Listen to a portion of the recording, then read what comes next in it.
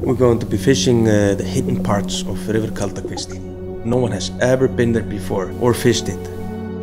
So the first fish I ever caught fly fishing was a brown trout. Brown trout are something that everyone can relate to and it's something that we can find a common talking point on with almost anyone in the fly fishing community.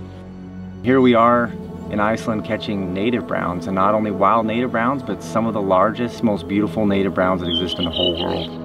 There's water all over the place, lots of rivers, lots of streams that lead into these gargantuan sized lakes that hold enormous brown trout and that's what we're here for.